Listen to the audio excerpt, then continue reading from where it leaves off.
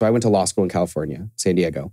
And I was one of very few people at my law school that believed in individual rights and freedom. Oh, weird. Shocking, shocking. Yeah. Um, and I cannot tell you how many people that I went to law school with reached out to me and said, Hey, you do gun law, right? Like, you understand, like, how do I buy a gun? And these are people who two years before would have been asking me, like, well, why do you, Why do you are- support that? How are you working for a pro gun group? Like, how mm-hmm. would you, why would you ever do that? And now they're contacting me and saying, Hey, there's a protest that's planned for down the street from me in a day. Like, how do I get a gun? And I had to, I would tell them, well, you're, you can't. You, you have a 10 day waiting period. In By the way, you voted for this. Yeah. Oh, mm-hmm. I, I made sure to, to remind them of that.